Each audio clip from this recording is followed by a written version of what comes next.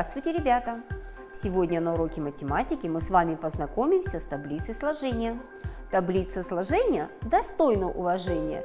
Ее должны мы твердо знать, чтобы быстро, верно вычислять. Сегодня на уроке мы узнаем особенности таблицы сложения, закрепим знания и умения при сложении однозначных чисел с переходом через десяток, а также закрепим умение составлять и решать задачи. Назовите все примеры с ответом 13. 13 – это 9 и 4, 13 – это 8 и 5, это 7 и 6, это 6 и 7. Ребята, давайте остановимся на двух последних примерах. Чем же различаются эти примеры 6 плюс 7 и 7 плюс 6? Что слагаемые поменялись местами. Вспомним правило. От перестановки слагаемых сумма не изменяется. 13 – это 5 и 8. 13 – это 4 и 9. Молодцы! Выберите уменьшаемое, если вычитаемое равно 6, а значение разности равно 7. Вспоминаем, чтобы найти уменьшаемое, нужно к разности прибавить вычитаемое. Значит, к 6 нужно добавить 7 и получим 13. Значит, уменьшаемое равно 13. Увеличьте число 9 на 5. Какое число получили? Если к 9 прибавить 5, получим 14.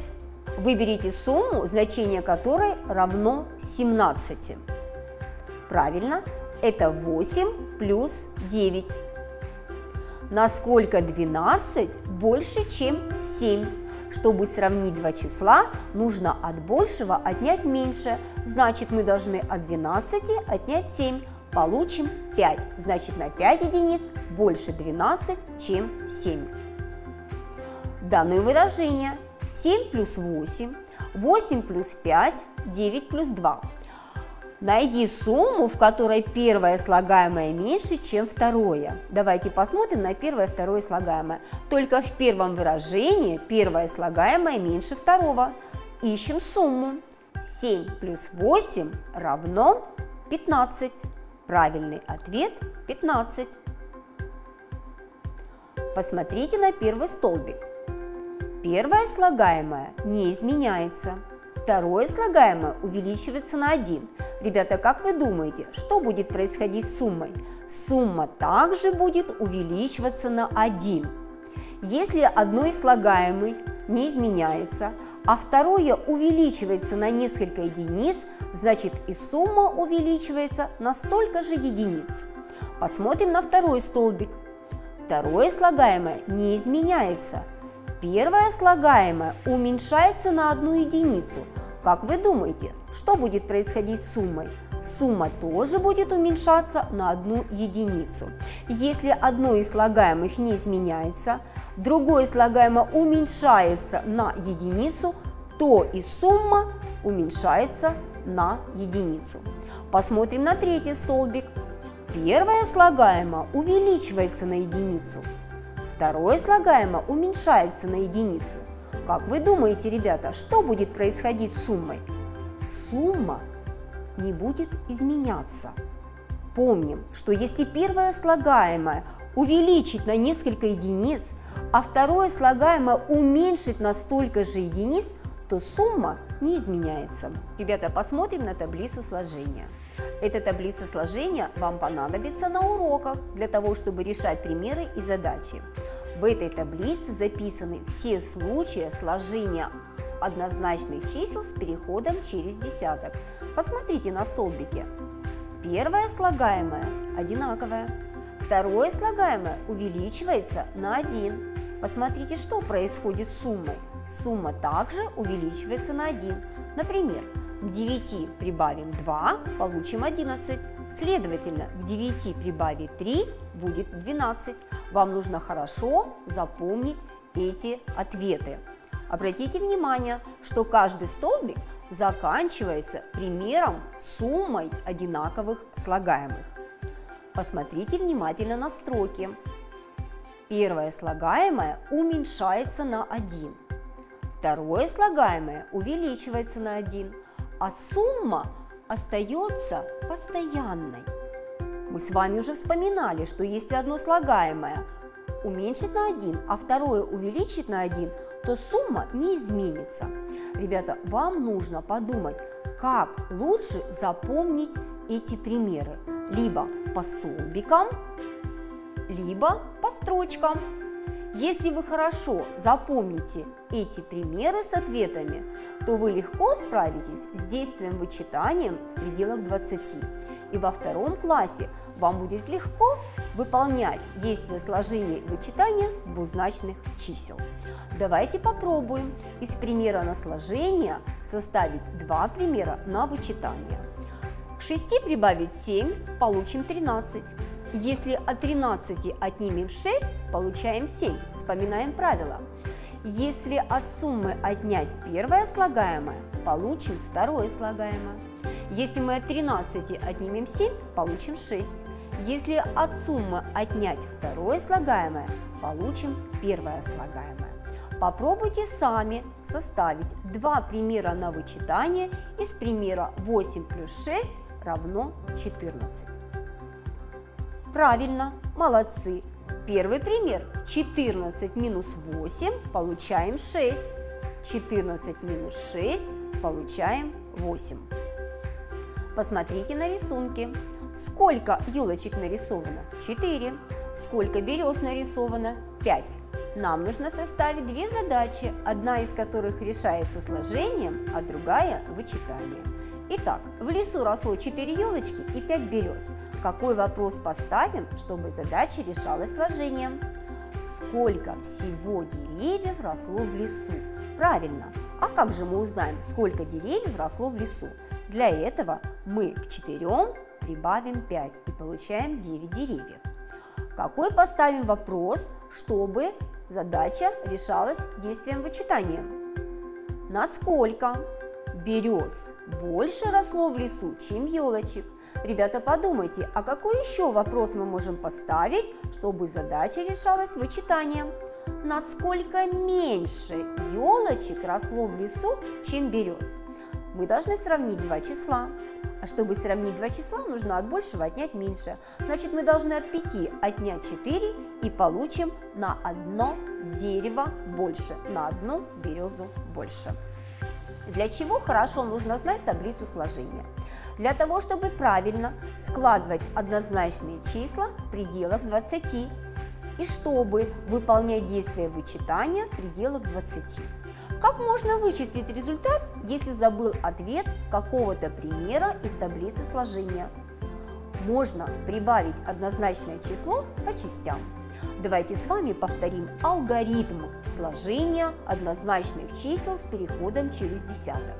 Чтобы сложить однозначные числа с переходом через десяток, необходимо до 10 добавить одно из слагаемых, а затем прибавить оставшиеся единицы. Как, например, в примере 7 плюс 9. 9 раскладываем на два удобных слагаемых. Чтобы 7 дополнить до 10, это будет 3. И вспомним состав числа 9. 9 это 3 и 6. Итак, 7 плюс 3 получаем 10, к 10 добавляем 6, получаем 16. Дома я вам рекомендую записать и запомнить таблицу сложения, выполнить вычисления и проверить полученные ответы по таблице. Задание первое страничка 73. На этом наш урок закончен. Спасибо за внимание.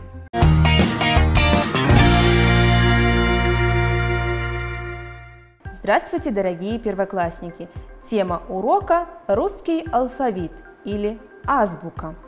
Сегодня на уроке мы узнаем, для чего нужен алфавит и научимся располагать слова в алфавитном порядке предлагаю обратиться к толковому словарю и узнать, как образовались слова азбука и алфавит.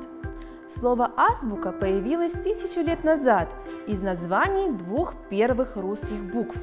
Буква А называлась тогда ас, а буква Б – буки. Из этих названий ас и буки получилось русское слово азбука. Слово алфавит пришло к нам из греческого языка в греческом языке первая буква называлась альфа, а вторая – вита. Из этих двух названий получилось слово алфавит. Алфавит – это все буквы русского языка, расположенные в определенном порядке. Каждая буква в алфавите имеет свое строго определенное место и название. Славянскую азбуку составили более тысячи лет назад братья Кирилл и Мефодий. В память о них 24 мая празднуют День славянской письменности и культуры. В старорусском алфавите было 43 буквы.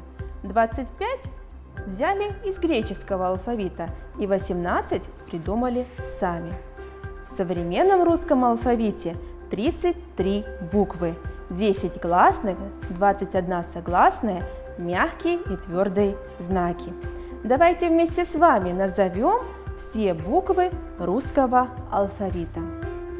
А, Б, В, Г, Д, Е, Ё, Ж, З, И и краткая К, Л, М, Н, О, П, Р, С, Т, У, Ф, Х, Ц, Ч, Ш, Щ, твердый знак, И, мягкий знак, Э, Ю, Я.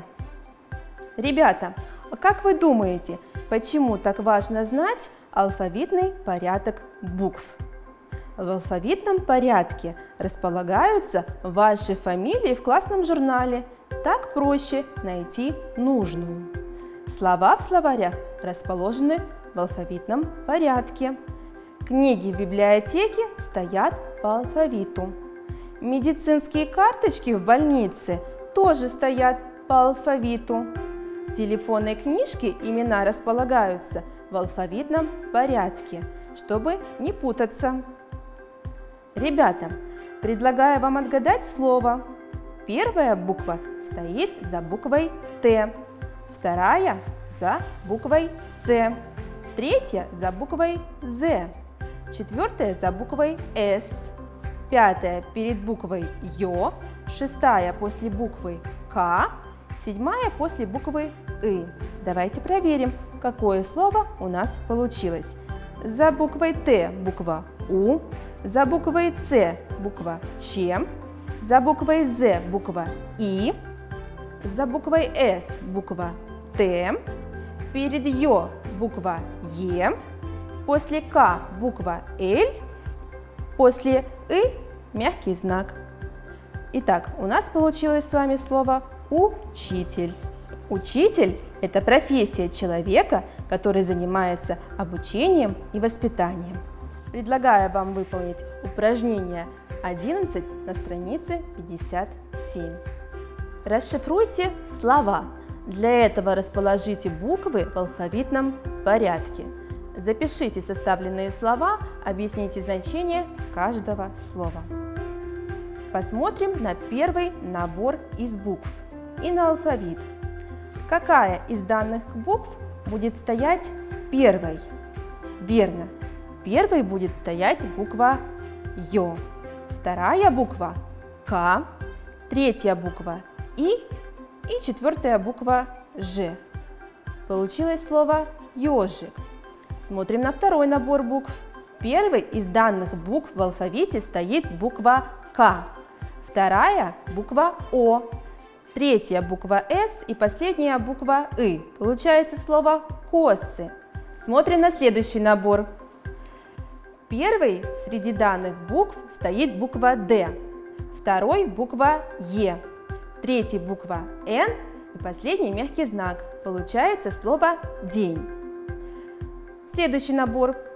Из данных букв первый стоит буква Л, второй буква О, третий буква С и последний мягкий знак. Получилось слово лось. Последний набор букв. Из данных букв первой в алфавите стоит буква Г, вторая О, третья С, четвертая Т и последний мягкий знак. Получилось слово гость. Итак, давайте объясним значение каждого слова. Ежик – это уменьшительная ласкательная форма слова еж – небольшое животное с иглами на теле. Косы – это вид прически, когда волосы сплетены между собой по длине. Также Косы – это инструмент для скашивания травы. День – это промежуток времени от восхода до заката солнца. Также слово «день» можно использовать как синоним к слову «сутки». Лось – это крупное животное с лопатообразными рогами. И гость – это человек, который приходит в гости. Выполним упражнение 12 на странице 57. Прочитай. Астра, азбука, аева начинаются на А и кончаются на А. Астра, азбука, аева. Как ты думаешь, почему автор не записал выделенные слова в алфавитном порядке? Итак, если бы мы хотели расставить эти слова в алфавитном порядке, то сделали бы это следующим образом. Так как первая буква в начале всех слов одинаковая, мы бы посмотрели на вторые буквы. В слове «астра» это буква «с», в слове «азбука» это буква «з» и в слове «айва» и краткая. Итак, какая из данных букв в алфавите стоит первая? Верно, буква «з», вторая – краткая и третья – «с». Тогда получилось бы так. Азбука, айва, астра. Давайте прочитаем стихотворение. Азбука, айва, астра начинаются на А и кончаются на А, азбука, айва, астра. Так стихотворение получилось нескладным. Поэтому автор не записал выделенные слова в алфавитном порядке, чтобы сохранить стихотворную рифму. Предлагаю разгадать ребусы. Проверяем. Первым было зашифровано слово «Вова», вторым – «Валя» и третьим – «Вера». Что объединяет все эти слова? Верно, данные слова являются именами. Давайте расставим слова в алфавитном порядке. Так как в словах Вера, Вова и Валя первая буква в начале слов одинаковая, мы посмотрим на вторые буквы. В слове Вова это буква О, в слове Валя это буква А и в слове Вера буква Е. Итак, какая из данных букв в алфавите стоит первой? Верно, буква А, второй буква Е и третья буква О. Что у нас получилось? Валя, Вера, Вова. Ребята, а почему эти слова мы записали с большой буквы? Верно, имена пишутся с большой буквы. Итак, на уроке мы узнали, что такое алфавит и для чего он нужен. Научились располагать слова в алфавитном порядке. Рекомендую выполнить самостоятельно упражнение 10 на странице 56. Спасибо за внимание, урок окончен.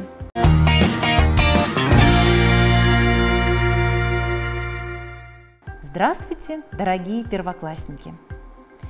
Отгадайте загадки и вы узнаете произведение, с которым мы познакомимся на уроке. Бегу я как по лесенке, по камешкам звеня, издалека по песенке узнаете меня. Верно, это ручей. Четвертый месяц как шагнет, так с треском лопается лед. Молодцы, это апрель. Из-под снега вышел друг, и весной запахло вдруг. Это подснежник. Ребята, сегодня на уроке литературного чтения мы познакомимся с произведениями Тимофея Белозерова «Подснежники», Самуила Яковлевича Маршака «Апрель» и со стихотворением Ирины Токмаковой «Ручей». А также сегодня мы продолжим чтение произведения о весне, о весенних изменениях в природе. Откройте учебник на странице 66. Прочтем, кто автор стихотворения «Подснежники». Верно, Белозеров Тимофей Максимович. Белозеров Тимофей Максимович родился 23 декабря 1929 года в селе Камыши Курганской области многодетной крестьянской семье. У него равно умерла мама, и его на воспитание взяла добрая женщина. После окончания семилетней школы Тимофею Максимовичу пришлось много работать. В 1952 году начинается творческая биография Белозерова. Первый сборник стихов был напечатан в журнале «Алтай». О его произведениях Ирина Токмакова говорила, что стихи Белозерова – это глоток свежего воздуха, пронизанного солнцем, пахнущего цветущим ромашковым полем. До майского ромашкового поля у нас есть еще время, а вот с апрельским подснежником давайте познакомимся. Прочтем стихотворение «Подснежники». Плакала Снегурочка, зиму провожая, Шла за ней печальная, всем в лесу чужая. Там, где шла и плакала, трогая березы, Выросли подснежники Снегурочкины слезы. Ребята, скажите, пожалуйста, какое настроение у вас вызвало это стихотворение?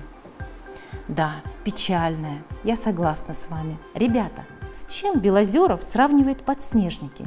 Верно, со слезами Снегурочки. Почему Снегурочка оказалась чужая?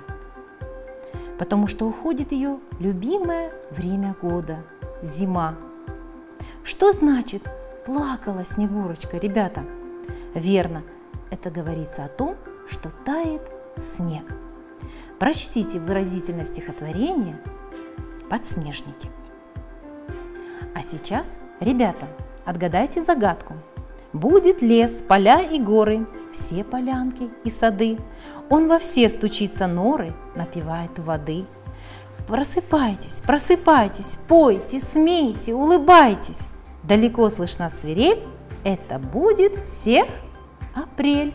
Верно. Следующее произведение, с которым мы познакомимся, это стихотворение Самуила Яковлевича Маршака «Апрель». Ребята, давайте вспомним, с какими произведениями Маршака мы знакомились на уроках литературного чтения. Верно, автобус номер 26 и переводы английских песенок из книги «Рифмы матушки Гусыни». Я прочту стихотворение, а вы послушайте внимательно. Апрель. Апрель, апрель, на дворе звенит капель, По полям бегут ручьи, на дорогах лужи, Скоро выйдут муравьи после зимней стужи. Пробирается медведь сквозь лесной валежник, Стали птицы песни петь, и расцвел подснежник. Объясним значение следующих слов. Валежник – сухие сучья, деревья, упавшие на землю. Капель – характерный звон, который издают капли воды, образующиеся при таянии снега, падая на землю с крыши домов. Стужа – это значит сильный холод, мороз, сквозь, через что-нибудь, через толщу, внутренность чего-нибудь. Ребята, какое настроение автор хотел нам передать? Как вы думаете? Ну, конечно, радостная, веселая. Ведь наконец-то наступил апрель, пришла весна. О каких признаках весны мы прочитали? Звенит капель, бегут ручьи, выйдут муравьи, птицы поют песни. Совершенно верно. Прочтите слова, которые рифмуются. Апрель – капель, лужи – стужи, ручьи – муравьи, медведь – петь, валежник – подснежник. Прочитайте выразительно данное стихотворение своим родителям. Откройте учебники на странице 68. Прочитайте, кто написал стихотворение «Ручей». Верно, Ирина Петровна Токмакова. Ирина Петровна Токмакова родилась в 1929 году в Москве. Ее отец был инженером-электриком, а мать – детским врачом и заведующей домом ребенка. Писать стихи Ирина Петровна начала рано. В одном классе с ней училась дочь известного поэта Лебедева Кумача. Он обнаружил у Ирины поэтические способности и посоветовал писать дальше. Ребята, давайте вспомним, а с какими произведениями мы уже знакомились Ирины Токмаковой? Верно, Аля, Кляксич и буква А. А сегодня мы познакомимся с ее замечательным стихотворением, которое называется «Ручей». Послушайте, пожалуйста. Ручей. Бежал ручей по камушкам, бежал, бежал, бежал. Потом в глубокой лужице лежал, лежал, лежал. То снова он помчался вскачь, то будто бы уснул. Увидел речку, прыг туда и сразу утонул. Ребята, а какое настроение вызвало у вас это стихотворение? Верно, веселое, радостное. Давайте прочитаем слова, которые дают понять, как журчит ручей. Бежал, лежал, помчался, уснул, утонул. А сейчас прочтем подчеркнутые слова. Вскачь, прыг туда. Ребята, как эти слова помогают представить веселый ручей? Верно, как будто это прыгает озорной веселый ребенок. Обратите внимание, поэт нам хочет показать, что ручей как живое существо. Рекомендую подготовить выразительное чтение стихотворения «Ручей». А сейчас прослушайте, пожалуйста, следующее стихотворение. «Если я сорву цветок, если ты сорвешь цветок, если все, и я, и ты, если мы сорвем цветы, опустеют все поляны, и не будет красоты. Скажите, ребята, а о чем это стихотворение? Верно, о цветах. Чему нас учит это стихотворение? Конечно же, беречь и оберегать природу. Правильно, ребята, рвать первоцветы мы не будем. Итак, подведем итоги. С какими произведениями мы познакомились на уроке литературного чтения? Правильно, мы познакомились на уроке литературного чтения с произведениями Тимофея Белозерова «Подснежники», Самуила Яковлевича Маршака «Апрель» и со стихотворением Ирины Токмаковой «Ручей». О чем эти произведения? О весне, о природе. К чему призывают нас авторы стихотворений? К тому, чтобы люди любили и оберегали природу. Рекомендую выразительно прочитать стихотворения, с которыми мы сегодня познакомились, и нарисовать цветок первоцвет. Спасибо за внимание. До скорых встреч!